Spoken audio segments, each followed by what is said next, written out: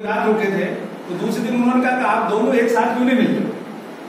अलग अलग क्यों आ रहे हो बार तो बड़ी मिन्नतों के बाद उन्होंने बताया कि हमारे घर में महिलाओं के पहनने के लिए एकमात्र यही साड़ी है।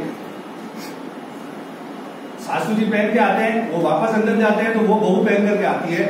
ढंग की साड़ी पहनने के लिए यही है, और वो एक ऐसा छोटा सा वाक्य उनके जीवन में उतर गया।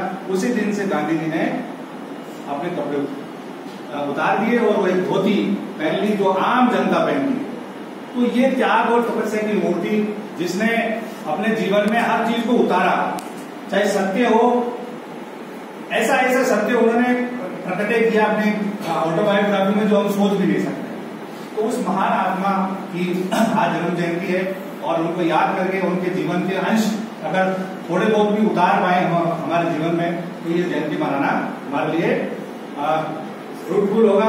दूसरी जो महामानव है, लाल बहादुर शास्त्री जी, जिन्होंने जय जवान और जय किसान, दो नारे देकर के इन दोनों वर्गों को हमेशा हमेशा के लिए अमर कर दिया। ये दोनों नारे आज़ादी से पहले या आज़ादी के कुछ समय बाद तक ना तो जवान की बहुत ज़्यादा प्रवाह की जाती थी, ना किसान की की जाती लेकिन उनके इस नारे ने इन दोनों वर्गों को हमेशा हमेशा के लिए अमर कर दिया और आज चाहे गाय बगाई सही लेकिन इनको जय जवानों को और किसानों को याद किया जाता है। हालाँकि देश की जो इकोनॉमी है, उसमें किसानों का बड़ा योगदान है, लेकिन जो सरकारों की तरफ़ से जो बजट तैयार किया जाता है, उसमें किसानों को बहुत कम बजट आता है।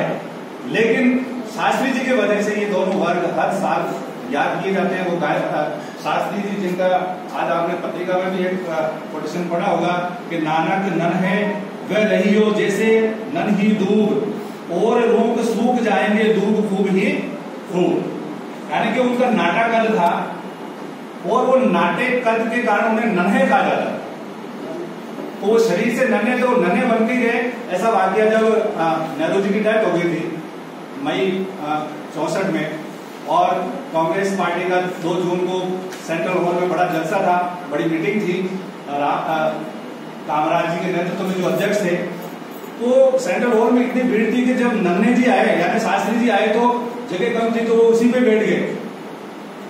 दरवाजे से घुसे, वहाँ थोड़ी जगह थी, वहाँ बैठ गए। और सीटों के लिए इतनी मारामारी थी, और जब उस मीटिंग में ये थे हुआ कि अगले प्रधानमंत्री, वो नन्हे होंगे। तो ऐसे महान व्यक्तित्व के धनी, लाल बहादुर शास्त्री जी, जिनका भी आज जन्म जयंती है, हम दोनों हुतात्माओं को महान आत्माओं को याद करते हुए अपने आप को गौरवान्वित महसूस करते हैं।